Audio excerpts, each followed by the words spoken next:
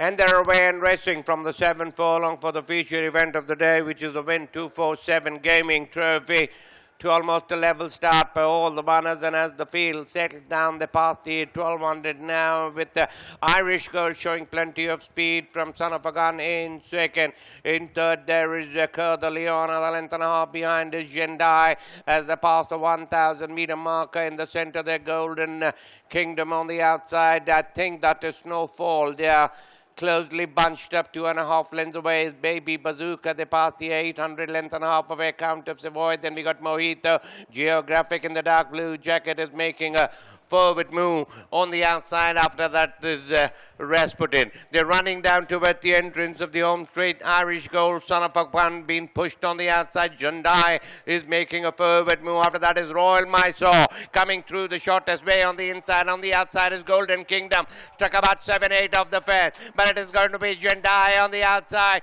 from Irish Gold. Royal Mysore is the one now warming up on the outside. Baby Bazooka in third. After that is Count of Savoy. But it is going to be Royal Mysore on the outside. Leads by half. Now by three quarter. It's getting a little bit stronger at the finish. Is he going to make it five in a row? Royal Mysore it's going to be. Fight for second between Jendai, Baby Bazooka, Snowfall, Rasputin, Count of Savoy, Geographic Irish Gold, Golden Kingdom Mojito, Leon, son of uh, a gun, second last, last of all Cellini.